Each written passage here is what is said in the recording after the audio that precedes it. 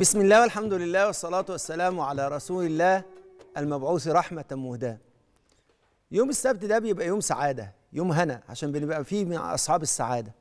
وحضرة النبي صلى الله عليه وسلم كان يحب الفأل الحسن وكان دائما دائم التبسم صلى الله عليه وسلم. ولذلك أنا لما باجي يوم السبت وعارف إن أنا هتكلم مع أصحاب السعادة اللي هم مقبلين على الزواج وكمان اللي عايزين يجددوا حياتهم الزوجية ببقى سعيد جدا ومبسوط. وخاصة لما نكون هنتكلم عن مهارة النهاردة لما بتكون موجودة الناس بيحصل لهم حالة من حالات السعادة وحالة من حالات الهنا. هقول لك حاجة. فاكر لما مرة انت قعدت تسمع زوجتك فهي حست بإيه؟ إيه الراحة دي؟ مش بس كنت قاعد بتسمعها كنت تسمعها وهي تقول وتقول لها أنا عارف إن أنت حسيت حس تقول لك آه والله مش الحمد لله إن أنت حسيت بمشاعري دي. أنت هنا ببساطة خالص إيه اللي عملته؟ عملت مهارة مهمة جدا جدا جدا. والمهارة دي لازم نكلم كل المقبلين على الزواج إن هم يعيشوها وكمان اللي عايزين يجددوا حياتهم الزوجية. المهارة دي اسمها إيه؟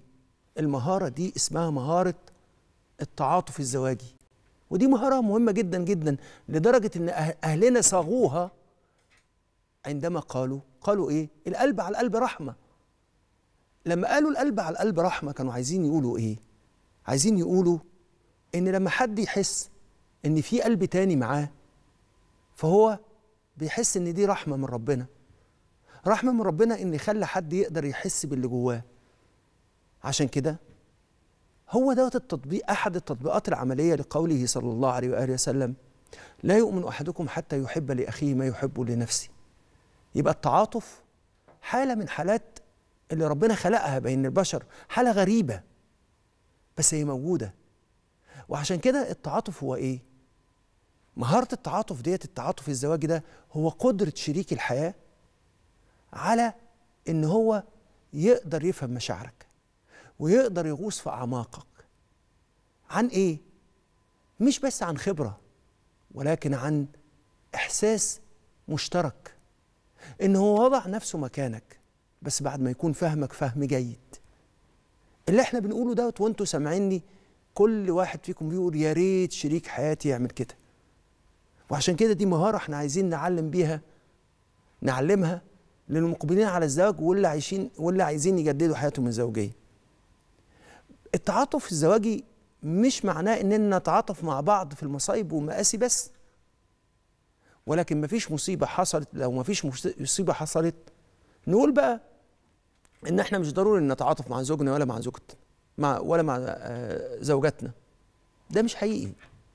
التعاطف صفة إنسانية بيحتاجها الإنسان حتى في الفرح. يعني أنا لو فرحان فرحي بيزيد لما حد يتعاطف معايا. وعشان كده أنا محتاج التعاطف عشان يخفف آلامي. بس كمان أنا محتاج التعاطف عشان يزود أفراحي. مهارة غريبة ربنا جعلها في البشر تخلي البشر بالظبط كده. كل حاجة تزيد وتقل بمهارة واحدة سبحان الله. المصايب تقل تأثيرها وجعها لما حد يتعاطف معاك. وكمان الأفراح تزيد لما حد يتعاطف معاك. التعاطف على فكرة ممكن يبقى على مستوى بسيط جداً. زي مثلا ان زوجة يقول لها زوجها أنا النهارده تعبت في الشغل خالص. يبقى اذا التعاطف كمان ممكن يكون في الحاجات العادية. يقول لها أنا تعبت في اليوم النهارده كان طويل وكان حر وأنا مش نايم كويس. فالمفروض يكون رد الزوجة عليه يبين تعاطفها معاه تعاطفها معاه وهو حاسس بالتعب. هو قال لها كده ليه؟ ولذلك أول التعاطف أول التعاطف هو محاولة سؤال النفس وتوقع ما الذي ينتظره شريك حياتي مني؟ هو قال الكلام ده إيه؟ إيه الحافز أو الدافع اللي قاله؟ إحنا هنقول إجراءات التعاطف إيه؟ وإزاي الواحد يتعاطف.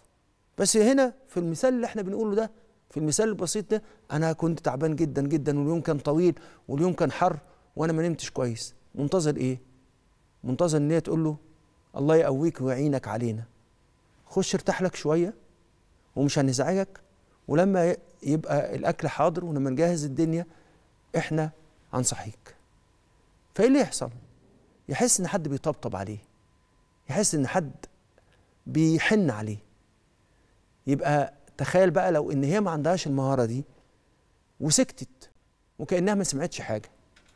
هو ده أسوأ إجراء ممكن يحصل. اذا مهارة التعاطف دي مهارة مش إنها مهارة ثانوية بنحتاج لها لا دي المهارة دي فقدها هو اللي بيترتب عليه ببساطة هو فقد الإحساس بقيمه بالقيمة الإضافية للجواز. يا نهار أبيض! وده لما بيبقى موجود الواحد بيحس إن الجواز نعمة. يبقى التعاطف الزواجي ده هو اللي بيحسس الواحد إن الزواج دوت نعمة.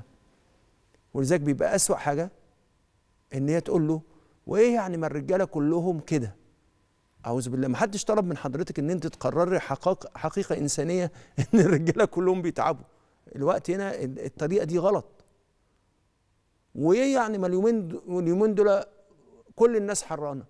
ما حدش طلب حضرتك إن أنت تقرري الحقيقة الكونية بإن الناس حر إن الناس عايشة في حر.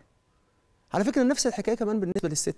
لما تقول لزوجها النهارده كان يوم حر جدا ونزلت السوق واشتريت ووقفت في المطبخ في الحر وقدام البوتاجاز وعملت وسويت والدنيا النهارده كانت تعب جدا جدا جدا وحراره الجو. أنا ما كنتش قادر أخد نفسي ولدرجة إن أنا جبت المروحة حطيتها في المطبخ معايا مع هو لازم يقول لها إيه؟ ربنا يديك الصحة. وإحنا مش عارفين من غيرك كنا هنعمل إيه. أنت وجودك في حياتنا نعمة من نعم ربنا. هتحس بايه دي ساعتها. وإن الحر ده إن شاء الله ربنا سبحانه وتعالى كل قطرة علق نزلت مني إن شاء الله تكون في ميزان حسناتك وهي محفوظة في قلوبنا. إيه ده؟ هتحس إن اللي عملته ليه قيمة. وعشان كده اتعلمنا من حضرة النبي صلى الله عليه وسلم النموذج الأكمل للتعاطف مع السيدة خديجة. والنموذج الأكمل للتعاطف من السيدة خديجة مع حضرة النبي.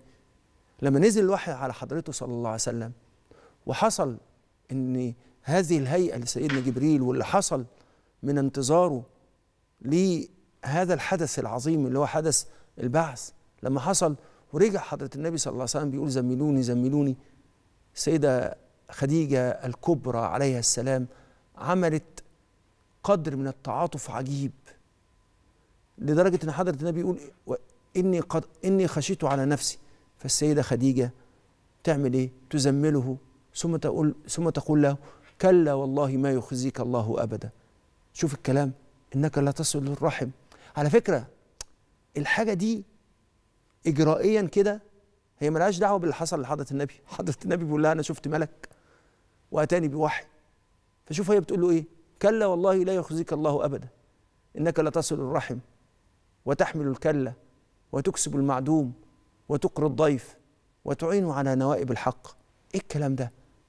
بتخليه يحس بإن هو في أمان الله وإن كل اللي عمله ده هيخليه في أمان الله ولا يمكن يكون ده شيء مضر بالعكس ده شيء حسن وكأنها بتبشره. فواسته سيد ستنا خديجة الكبرى ولذلك حضره النبي صلى الله عليه وسلم لما يجي يتكلم عنها يقول أنها واسته بمالها حين منعه الناس وصدقته حين كذبه الناس. اذا ده نموذج عجيب. ومش بس كده شوفوا عشان يتم التعاطف كمان عشان ما تحسسوش إن المسألة تافهة تاخد حضرة النبي صلى الله عليه وسلم وتروح لسيدنا تروح لورقة بن نوفل وتسأله عن القصة كلها عشان بتحترم الحالة التي كان فيها حضرة النبي. ونفس الكلام لما حصل في حصار حضرة النبي صلى الله عليه وسلم في الشعب ومرضت السيدة خديجة حضرة النبي حزن لمرضها حزنا شديدا. ولما شعرت السيدة عائشة كمان بال... على فكرة لما انتقلت السيدة خديجة وحصل لحضرة النبي صلى الله عليه وسلم كان أحد أسباب تسمية هذا العام بهم الحزن إن حضرة النبي صلى الله عليه وسلم بيتعاطف مع السيدة خديجة حتى في انتقالها المبارك إلى الرفيق الأعلى. وكمان يستمر ده مع حضرة النبي التعاطف. السيدة عائشة لما تقول لما يجي لها صداع فتقول ورأسه كم واحد مراته بتبقى مصدعة تقول له أنا مصدعة. يقول لها إيه؟ في في الغالب يقول لها إيه؟ هتخف دلوقتي. لكن حضرة النبي يقول إيه؟ بل أنا يا عائشة ورأسها. تسلم راس حضرتك وتنعم يا رسول الله وتتبارك وتتنور. هذه العبارة كفيلة إن هي تجعل السيدة عائشة تذوب. تخيل كده. بل أنا ورأسها عائشة. أنا حاسس إن هي مش بس راح من عندها الصداع ده حياتها كلها ازدادت كمال ونور. وكان التعاطف الإيجابي إن حضرة النبي صلى الله عليه وسلم كمان لما عقد السيدة عائشة ضاع منها وكانوا على سفر حضرة النبي أصر انهم ما يتحركوش لغاية ما يلاقوا العقد. وفي الوقت ده نزلت آية التيمم. ولدرجة إن الصحابي قال ما هذه أول بركاتكم يا آل أبي بكر؟ ده من بركات التعاطف تعاطف حضرة النبي صلى الله عليه وسلم. عشان يتختم ختم سماوي على أن من تعاطف مع أهل بيته بالتعاطف يأتي الفرج. شوفوا شوف شوف المعنى الكبير اللي إحنا لازم نتعامله نتعلمه إن تعاطف حضرة النبي جاب الفرج للمسلمين على امتداد حياة المسلمين.